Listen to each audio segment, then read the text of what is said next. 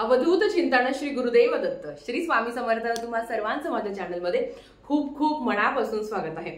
दहा मे दोन हजार चोवीसला वार शुक्रवार ह्या दिवशी अक्षय तृतीया आहे.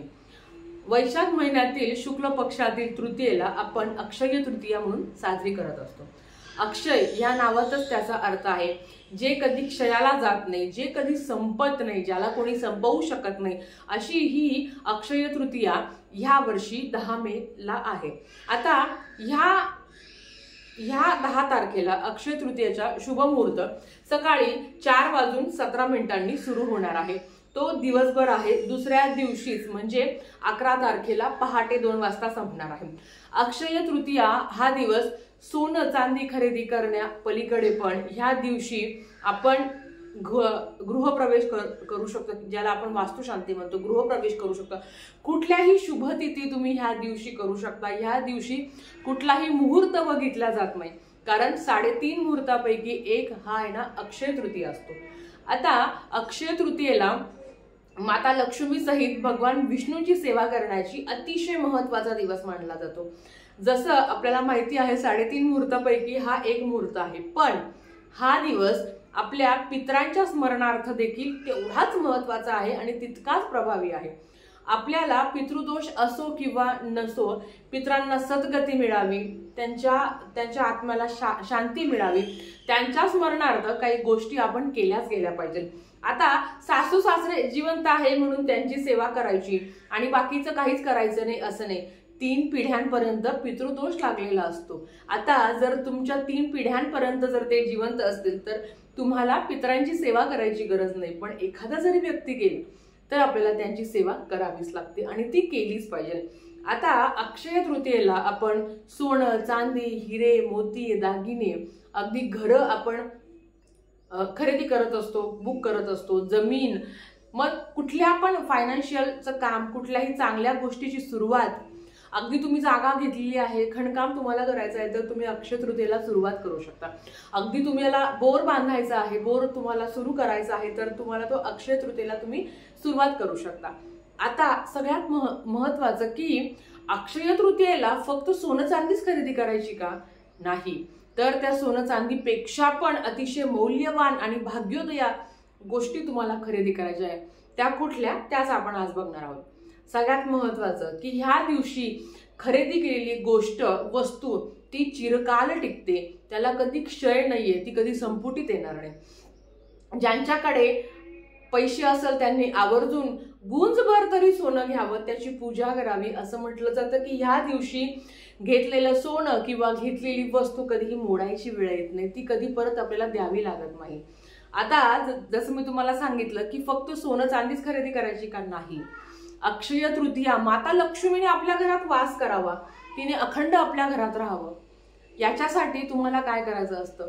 तर शिरई ज्याला आपण केर सुणी म्हणतो ज्याला झाडू म्हणता किंवा शिरई म्हणता ह्या दिवशी आवर्जून तुम्ही शिरई खरेदी करावी.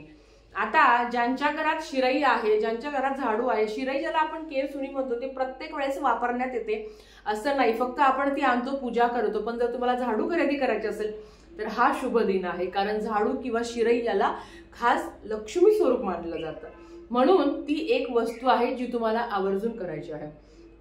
त्याच्याच बरोबर कवड्या ज्या माता लक्ष्मीला कुळदेवीलाही अतिशय प्र- अतिशय प्रिय आहे प्रसन्न करून घेणारे आहे.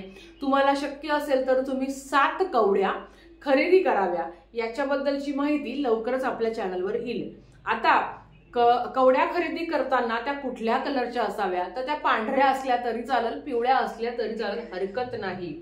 पांढऱ्याही तुम्ही खरेदी करू शकता किंवा पिवळ्याही तुम्ही खरेदी करू शकता. हे झालं दुसरं. तिसरं आहे मीठ. तुम्हाला माहिती आहे लक्ष्मी आपण जेव्हा दिवाळी साजरी करत असतो लक्ष्मी पूजनाच्या दिव दिवशी मिठालाही तेवढंच महत्वाचं आहे. का? तर मीठ हे शुक्राचं कारक मानलं जातं. शुक्र म्हणजे काय? लक्झरी आयुष्य पैसा संपत्ती धनदौलत हे शुक्राचं प्रतीक मानलं जातं. ज्याचा शुक्र मजबूत असतो ना त्याला कधी आर्थिक चणचण भासत नाही. आणि शुक्र जसं सांगितलं की पांढरं हा एक मनाचा कारक चंद्र हा मनाचा कारक मानला जातो. म्हणून आपलं मन हे चलबिचल होत असतं. मन जर आपलं थारेवर असलं तर आपले कुठलेही निर्णय आपण चांगले घेऊ शकतो. आणि मीठ मिठाचा जो अर्थ आहे हा आपल्या मनाचा कारक म्हणजे चंद्र याच्याशी आहे आणि भौतिक सुख म्हणजे शुक्राशी पण त्याचा संबंध आहे. म्हणून तुम्ही अतिशय सौंद मीठ ज्याला म्हणतं कोणी सैंद म्हणता कोणी सौंद म्हणता तर हे मीठ तुम्ही खरेदी करू शकता. अगदी ते नाही तर खडा मीठ तुम्ही खरेदी करू शकता. किंवा आपल्या घरात जे टाटा मीठ तुम्ही कुठलंही मीठ वापरता या दिवशी आवर्जून एक मिठाची पुडी आणायची आणि त्याची तुम्हाला पूजा करायची आहे. आता मार्गशीर्ष महिन्यात आपल्याला या मिठाचं महत्त्व माहिती आहे. आपल्या आयुष्यात जर मीठ नसेल तर अख्खं अन्न आपलं आळणी होतं. थोडंसं जरी मीठ टाकलं तर त्या तर त्या अन्नाला चव येते. हे आपण मार्गशीर्षच्या गुरुवारच्या व्रतामध्ये पाहत असतो. म्हणून मीठही तेवढंच महत्वाचं आहे. आता सगळ्यात महत्वाचं बऱ्याच घरात आधीच्या काळात काय होतं अक्षय तृतीयेला आपण एक माठ खरेदी करायचो. मातीचं कुठलंही भांडं आपण खरेदी करायचो त्याची आणि त्याच्यानंतर आपण माठ भरल्यास जायचो. आता असं नाहीये. आता आपण मार्च महिन्यातच माठ खरेदी करत असतो. पण ह्या दिवशी तुम्हाला कुठल्याही मातीचं भांडं तुम्हाला खरेदी करायचं आहे. मग अगदी तुम्ही केळी घ्या करा घ्या केळी कराचं आपण पूजन करत असतो. ते तुम्ही आदल्या दिवशी आणलं तरी चालेल किंवा त्याच दिवशी खरेदी केलं तर अतिशय उत्तम. तर केळी करा किंवा माठ. आता माठ मग तो काळा असावा किंवा तुम्ही लाल घेतला तरी हरकत नाही. पण माठ तुम्ही आवर्जून आणावा. आणि त्याची पण तुम्हाला या दिवशी पूजा करायची आहे. आता चौथा येतं ते जवस किंवा ज्याला आपण पिवळी मोहरी म्हणतो. जवस आणि पिवळी मोहरी ह्या दिवशी अगदी तुम्ही थोडी जरी खरेदी केली तर ती घरात धनधान्याची बरकता आणते असं म्हटलं जातं. आता बघा माता लक्ष्मी म्हणजे फक्त पैसाच का नाही? अन्नधान्य पण. तुम्हाला आपण बघा आपण उन्हाळ्यामध्ये सगळे धनधान्य भरून ठेवत असतो. तुम्ही ह्या दिवशी जसं अक्षय तृतीयाच्या दिवशी घेतलेली कुठली वस्तूला क्षय जात नाही कधी संपुटीत येत नाही तर ह्या दिवशी अगदी तुम्ही तुमच्या घरातला जो काही धनधान्य आहे जे काही धान्य आहे मग ते गहू असो बाजरी असो तांदूळ असो ज्वारी असो जे काही असो ते तुम्ही आवर्जून खरेदी करावं. आणि त्याची तुम्ही साठा करावा कारण याचा साठाही कधी संपणार नाही तो आयुष्यभर आपल्या क्षय आपल्यासोबत असतो. बऱ्याच घरात असं असतं की कधी कधी अन्नधान्याची कमतरता असते. खूप अन्नधान्य भरून ठेवतो पण ते पटकन संपतो तर काही काही कधी वाया पण जातो. किडा लागता म्हणून अशा शुभ दिनी तुम्ही तु तुमच्या घरात तुम्ही अन्नधान्य जे काही आहे तुम्हाला भरणार आहात तुम्ही ह्या दिवशी भरू शकता. त्याच्याच बरोबर तुमच्या घरात जी काही देवाची मूर्ती ज्याची तुम्हाला गरज आहे ज्याची तुम्ही सेवा करणार आहात त्या पण वस्तू तुम्ही खरेदी करू शकता. श्रीयंत्र खरेदी करायचा हा अतिशय महत्त्वाचा दिवस मानला जातो. फक्त श्रीयंत्र घरात खरेदी करायचं आणि तो तसंच ठेवायचं याला अर्थ नाही. त्याच्यावर ती सेवा पण झाली पाहिजे. तुम्हाला जर सेवा करायची इच्छा असेल तर आवर्जून तुम्ही श्रीयंत्र नक्की खरेदी करावं. त्याच्याबरोबर येतं महाराजांची मूर्ती असतो किंवा भगवान विष्णू अक्षय तृतीयेच्या दिवशी जर तुम्ही भगवान विष्णूंच्या संदर्भातली कुठली वस्तू तुम्ही खरेदी केली तर नक्कीच तुम्हाला फळ मिळेल. आता भगवान विष्णूंची मूर्ती असो फोटो असो तुम्ही खरेदी करू शकता. बाळकृष्णाची मूर्ती असो फोटो असो तो तुम्ही खरेदी करू शकता. ज्यांच्याकडे सगळं आहे त्यांनी खरेदी करायची गरज नाही. त्याच्याबरोबर तुम्ही कमळगट्ट्याची माळ खरेदी करू शकता. आपल्या ज्या अष्टलक्ष्मी आहेत त्याच्यातली एक गजंत लक्ष्मी तुम्ही खरेदी करू शकता. पण ह्या वस्तू आणून धुळीत पडण्या पडायला अर्थ नाही तुमची सेवा होणंही तेवढं महत्वाचं आहे. कासव हे लक्ष्मीचं प्रतीक मानलं जातं. ह्या दिवशी तुम्ही कासवही खरेदी करू शकता. शंख ज्याने बाळकृष्णाच्या मूर्तीवर आपण आपण अभिषेक करू शकतो तर तुम्हाला दक्षिणावरती किंवा वामवरती शंख तुम्हाला जर खरेदी करायचा असेल तर हा दिवसही तेवढाच महत्त्वाचा आहे. ह्या दिवशी तुम्ही त्या खरेदी करू शकता. माता लक्ष्मीची चांदीची पितळीची तुम्हाला मूर्ती खरेदी करायची असेल तर तुम्ही ह्या दिवशी त्या करू शकता. ह्याच खऱ्या महत्त्वाच्या वस्तू आहे. ह्याच खऱ्या आहे. आपल्या घरात आपली जी लक्ष्मी आहे आपल्या घरातली जी कुळश्री आहे तिला आनंदी ठेवण्याचा देखील हा दिवस आहे. तुम्हाला माहिती आहे ज्या घरातली कुळस्त्री आनंदी असते भरभराट असते त्या घरात. कारण त्या घरातला शुक्र कधी? नवऱ्याचा शुक्र हा बायकोवर अवलंबून असतो. आता ज्या बायका समाधानी आहे त्यांना अगदी नवऱ्याने गुलाबाचं फुल जरी दिलं तरी त्या आनंदित होतात. तर अशा घरात कधी काय कशाची कमी पडत नाही. म्हणून ह्या दिवशी तुमच्या घरातल्या कुळस्त्रीला अगदी तिला ज्या गोष्टी आवडतात मग ते साडी असो किंवा कुठला पण एखादी वस्तू असो अगदी गजरा ज्याने ती खळखळून हसेल ज्याने आपलं घर घर आपलं प्रसन्न होईल अशी वस्तू ही तुमच्या तुमच्या बायकोला किंवा तुम्ही स्वतःला खरेदी करू शकता. आवर्जून तुमच्या नवऱ्याला सांगा की माझ्यासाठी ही वस्तू घेऊन या. आपल्याला आनंद मिळतो. तुम्हाला माहिती आहे, नवऱ्याचा शुक्र मजबूत होण्याचं काम बायकोकडे असतं. आणि आपल्या नवऱ्याचं शुक्र मजबूत झाल्यावर घरातली जी काही फायनान्शियल अडचण आहे जी काही आपल्याला आर्थिक चणचण आहे ती खूप जास्त प्रमाणात कमी होण्यास मदत होते. म्हणून मी तर म्हणते घरातल्या स्त्रीने सोनं चांदीपेक्षा जर असेल तुम्हाला तर तुम्ही जोडवे खरेदी करू शकता. तुम्ही छल्ला खरेदी करू शकता.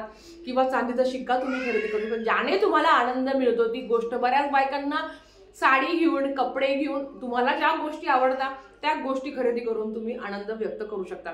फक्त ह्या दिवशी चपला असो किंवा चीर पाडणाऱ्या वस्तू असो मग ते वेळी असो चाकू असो सुरी असो धारदार वस्तू आहे त्या तुम्हाला खरेदी करायच्या नाही. चप्पल म्हटलं तर ही पण एक प्रकारची दरिद्री असते ती पण तुम्हाला खरेदी करायची नाही.